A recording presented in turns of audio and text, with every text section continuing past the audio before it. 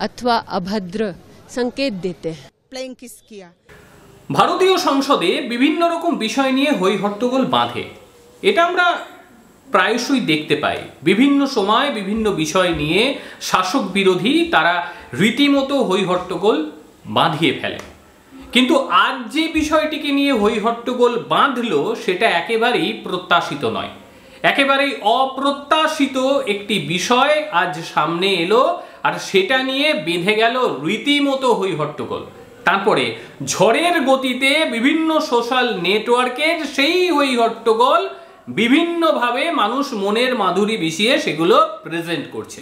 বিভিন্ন রকম বার্তাও পৌঁছচ্ছে। কি হয়েছে বিষয়টি? বিষয়টি হয়েছে, আজকে অভিযোগ উঠেছে রাহুল গান্ধীর বিরুদ্ধে। এই রাহুল গান্ধী নাকি বিজেপি মহিলা সাংসদদের উদ্দেশ্যে ফ্লাইং কিস ছুড়েছেন। ভাবুন বিষয়টি। পার্লামেন্টে দাঁড়িয়ে রাহুল গান্ধী নাকি ফ্লাইং কিস ছুড়েছে বিজেপি মহিলা সাংসদদের উদ্দেশ্যে?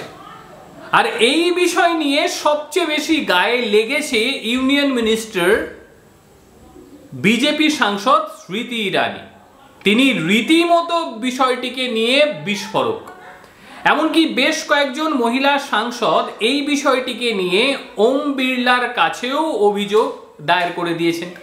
যে রাহুল গান্ধী একেবারে সংসদীয় গণতন্ত্রকে নিপাত করে তিনি এই ধরনের ঘটনা ঘটিয়ে দিয়েছে কিন্তু বাস্তবে ঠিক কি হয়েছে, আদেতেও রাহুল গান্ধী ফ্লাইং কিস কাকে লক্ষ্য করে দিয়েছে, স্মৃতি ইরানি নাকি অন্য কাউকে, সেটি কিন্তু এখনও ভাবে স্পষ্টভাবে কোনো ছবি আসেনি।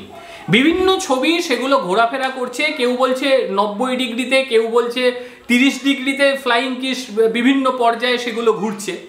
কিন্তু বাস্তব যে ঘটনাটি, সেখানে কি ঘটেছে, সেই ঘটনা বলতে পারবে সেখানে লাগানো ক্যামেরা।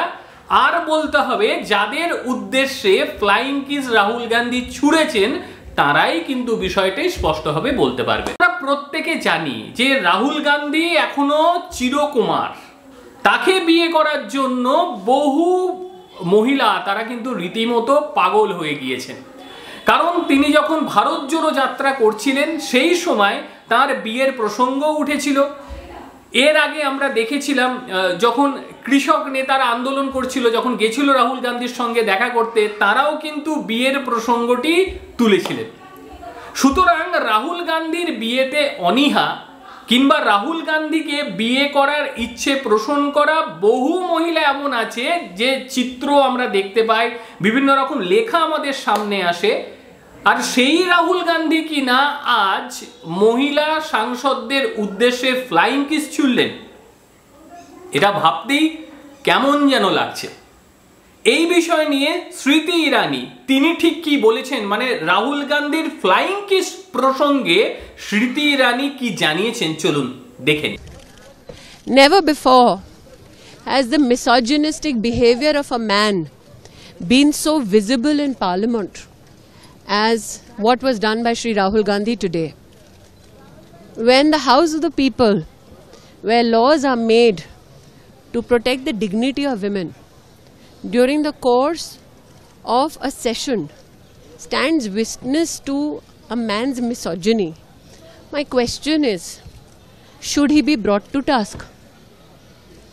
राह चलते सुना था कि औरतों को वो लोग जो कानून का उल्लंघन करते हैं इस प्रकार की अभद्र टिप्पणियाँ अथवा अभद्र संकेत देते हैं ये नहीं पता था कि गांधी खानदान के संस्कार में भी एक संस्कार ये है मिसोजनी और महिलाओं के साथ अभद्र व्यवहार। धन्यवाद। पहली बार सदन में ऐसा व्यवहार हम देख रहे हैं।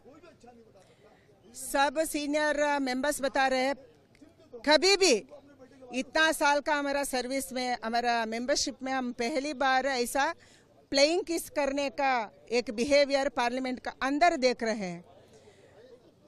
वो तो राहुल गांधी भाषण खत्म किया उसके बाद स्मृति जी बोलने वाली थी वो खड़ी हुई थी हम सब खड़े थे वो राहुल गांधी वापस जाने वाले थे हमने बताया आप बैठिए सुनिए आपको हम हम सुना है एंड हमारे आप सुनिए ऐसे हम बोल रहे थे वो दो स्टेप आगे आया हम सबको देख के प्लेइंग किस किया ये कैसा बिहेवियर है বক্তব্য তো আমরা শুনে নিলাম এবার কংগ্রেসের তরফ থেকে ঠিক কি বলা হচ্ছে এই ফ্লাইং কিস নিয়ে? চলুন। দেখে तो आपसे उन्होंने एक प्यार भरा जेस्चर दिया है उससे आपको दिक्कत क्या है इतनी नफरत की आदत बन गई है कि मोहब्बत का कोई भी जेस्टर प्यार का कोई भी जेस्टर अफेक्शन का कोई भी जेस्टर आपको समझ में नहीं आता है ये वो राहुल गांधी जी हैं जिनको आपने एज ए एमपी बेदखल किया ये वो राहुल गांधी हैं जिनके घर से आपने बेदखल किया है वो अपने सारे केसेस जीत कर आए हैं फिर भी आपसे नफरत से नहीं बात कर रहे हैं जितना जहर आप लोग उगलते हैं उसमें आपको दिक्कत हो गई है तो प्रॉब्लम আমরা উভয় পক্ষের বক্তব্য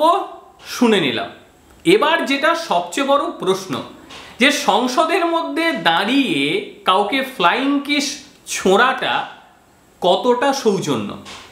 এই নিয়ে বিতর্কের অবসান হওয়ার কখনোই নয়। কিন্তু একটা বিষয়, সংসদে তো আলোচনার অনেক রকম বিষয় আছে। পার্লামেন্টের ভেতরে দাঁড়িয়ে অশান্তি করার অনেক রকম বিষয় আছে।